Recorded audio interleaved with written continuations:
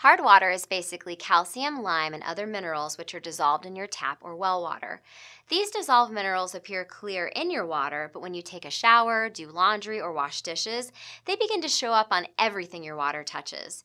These minerals in your tap water actually bind with the soap you use, and that is what creates the nasty soap scum you see in your shower. Even worse, when water is heated, it makes these hard elements stick to your plumbing and appliances and turns your glassware from clear to scummy white. The water hardness also clings to you, which contributes to dry, scaly skin and coarse hair. When you have excessive water hardness, it makes it very hard for your soap to do its job. You use more soap and shampoo, and even with good detergent, your laundry still becomes dingy over time. Having a water softener in your home will help you to eliminate all the hard water problems you have. Your laundry will come out cleaner and fluffier, your hair and skin will feel so much softer and smoother, all using a fraction of the amount of soap. Our water softener will also contribute to the long life of your water appliances because they will not be getting gunked up with hard water minerals. People spend thousands on appliances in their home.